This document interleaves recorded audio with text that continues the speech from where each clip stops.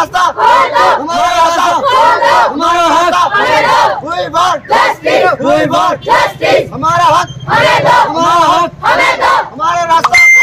हमारा रास्ता। याद अहमद है हम इधर बैकवर्ड एरिया से आए हैं, जो हमने जगह ली हुई है। और हमारा रास्ता दो तीन हफ़्ते से बंद किया गया। हमें स्कूल में हमारी अटेंडेंस कोई नहीं लग रही हम एबसेंट हैं और हमारी बोर्ड की क्लासें हमने पढ़ना भी होता है और बाकी भी खर्चे हमारे पास कोई नहीं है। रास्ता वगैरह जो हमारा था वो बंद कर दिया गया किसने बंद किया बच्चे आपका रास्ता? हमारा रास्ता जिससे जिससे हमने जगह ली थी उसने उसने बोला था कि आपका रास्ता दूसरा दूसरी जगह से नसीम शाह। नसीम शाह ने बंद किया हुआ है और उसने एक और रास्ता बताया था वो किसी और की जगह थी। अब उसने भी वो अपनी जगह बंद कर दिया गेट लगा दिया। अब हम कहाँ जाए? हमारा रास्ता ही कोई नहीं है। रास्ता बंद है। बच्चे जगह कौन सी है जहाँ आपका रास्ता है?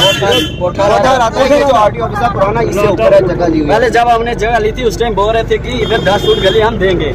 जिस टाइम ये दूसरा बोल रहे जब तक ये रास्ता खुला है इधर से चलो।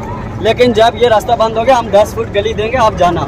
लेकिन आप जब उस बंदे ने रास्ता बंद कर दिया है और ये बोल रहे कि आप वो रास्ता भी नहीं दे रहे ना उधर हमारे पास कोई आज दो हफ़्ते से हम स्कूल नहीं जा रहे हमारे बोर्ड का बोर्ड की क्लासेस है हम कैसे पढ़े क्या करें?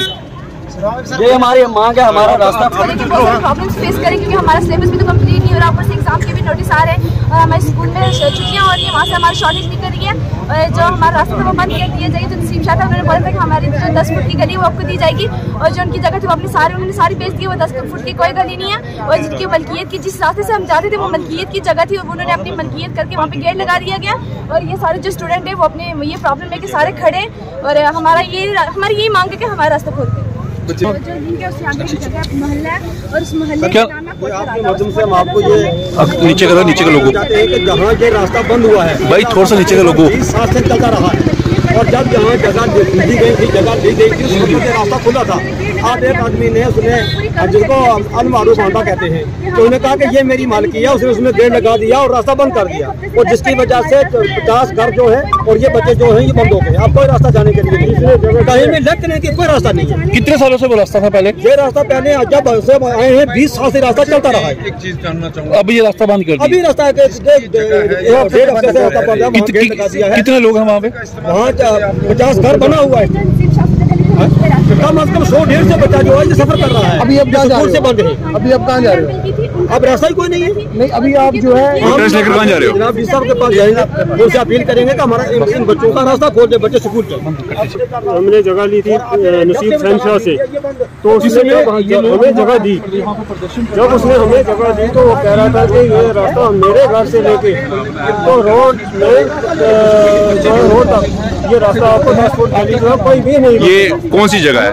ये जगह जो हमारे आर दफ्तर थे पुराने उससे ऊपर जो अपने आंडे की जगह पे जाती है रोड।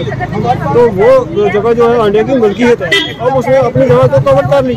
तो जो उसने बताई थी हमें नसीब शाह ने जो हमें बताया था कि ये इस रास्ते से आपने जाना है वो जगह उसकी मलकियत निकली। अब हमने न तो वो शाह ऊपर की तरफ़ रास्ता दे रहा है नीचे वाला तो उन्होंने बंद कर दिया हंडे ने। तो अब हमारा कोई मसला हल करे तो हमारी एडमिनिस्ट्रेशन से यही गुजारिश है कि हमारे बच्चे जो है बच्चे कि हमारे बच्चे जो है हफ़्ते से जो है परेशान हुए हैं इनकी पढ़ाई जो है एग्ज़ाम जो है वो सर पे आ रहे हैं। रास्ता टोटल बंद कर दिया उन्होंने शाह जो है वो नहीं जाने देता। तो हंडे की जगह वो मिलकी थे उसने तो ऑलरेडी बंद करनी करनी थी। जो उसने हम, हमें बताया था तो वो हमारे साथ उसने धोखा किया है। तो अब हम क्या करें? हमारा कोई ऐसा हल निकालें कि हमें जो है रास्ता जो है दिया जाए ताकि हमारे बच्चों की जो है पढ़ाई जो है ज़्यादा हो रही है हमारे बच्चों के जो जो है अब सर पे आ रहे हैं, तो वो स्कूल जाएँगे तो पढ़ेंगे। अब स्कूल ही पढ़ेंगे?